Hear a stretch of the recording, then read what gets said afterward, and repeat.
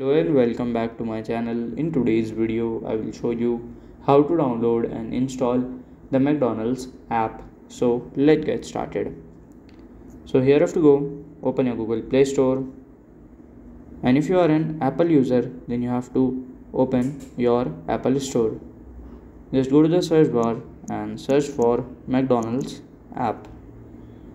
So from here, you have to click on this then click on here at install button and it will be done. So this is how to download and install the mcdonald's app. And if you find this video helpful make sure you like subscribe and share the video. Thank you for your watching